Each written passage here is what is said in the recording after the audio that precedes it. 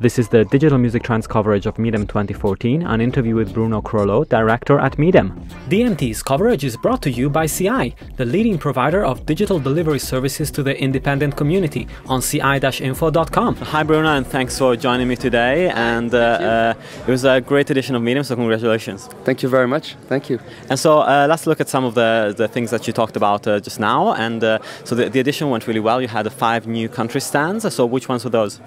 Yes, we have new five new pavilions. We have Cuba, we have Chile, we have Cyprus, Armenia, and for the countries, and also we have the first ever French tech pavilion. So it's uh, powered and, and subsidized by the by the ministry, uh, the Ministry of uh, Innovation in France, uh, and we had ten startups, uh, first timers to meet them on this on this pavilion. So it was great, yeah. Absolutely. And the rest of our pavilions from last year all came back, so we are very happy with that. Yeah, sure. And looking at the, other numbers, some of the countries had a, a massive presence. So Japan was up 40%, Australia 50%. overall, there was a slight decline because you talked about the fact that Germany, for example, cut the, the subsidies, so that made it more difficult for companies to come out. Uh, but the, the, conversation was very focused, so you know I think people seem to be really happy with the outcome of uh, of uh, MIDEM 2014 for them, and uh, the technology angle was really strong. And so, how did you feel the MIDEM Lab edition one this year? This one was again a great edition, and uh, with three uh, fantastic winners and and 30 great finalists as well. So yeah. so it was very vibrant, very again very very tense uh, because they were so close uh, to each other.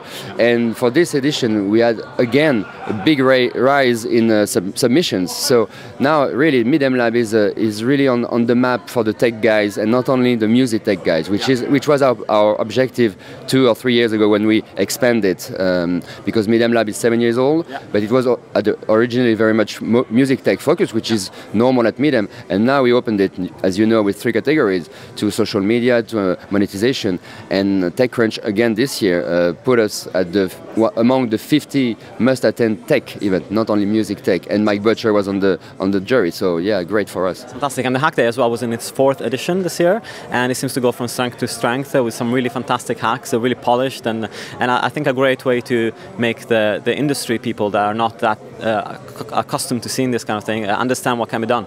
Yeah, this is this is a great moment. It is it's really happening, and uh, I love this notion of creation on the spot, on site, and uh, even if it's technology, it's still creation, obviously. So this is this is a great event, and uh, I think we will think for next year how to enhance it again, make it bigger. I don't know, but this year we had Spotify and Deezer sponsoring the event, which is great. Two two uh, competitors on the same uh, on the same hack day. Yeah, absolutely. And uh, you know, talking about uh, the the next edition of MIDEM, you know, it, is there a particular space that you think is just growing now, and you think it's going to get even bigger next year?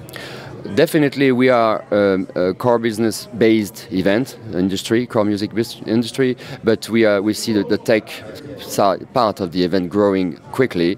Uh, we have around 20% of tech uh, among the participants. Five years ago, it was maybe zero or two. So this is definitely the the angle where we go, and this is very relevant and complementary with uh, the music industry, obviously because uh, they need technology and vice versa. So it's really, I think, completely relevant relevant with what the business is overall. Yeah, absolutely. Uh, uh, there was a big presence of lawyers as well this year. Lawyers are becoming really important and managers. Yeah. So those are two categories that I think are really becoming so central in the, in the recorded music industry. So uh, do you see that presence growing as well? Yes, absolutely. We've been uh, working with lawyer and for with uh, EIL uh, yeah. for, for years, but we had more more of these people this year indeed. You know, licensing is one of the key key element, intellectual property key issues. Sorry, not element key issues of, of the the, the business today. So lawyers are definitely the people uh, that we need to to make it uh, fluid. Yeah. Uh, so yes, yes, uh, they are definitely uh, part of it. That's great. Well, uh, you can find uh, a lot more about MIDEM on YouTube, and Digital Music Trends has done uh, an extensive coverage of the event through uh, a number of interviews as well.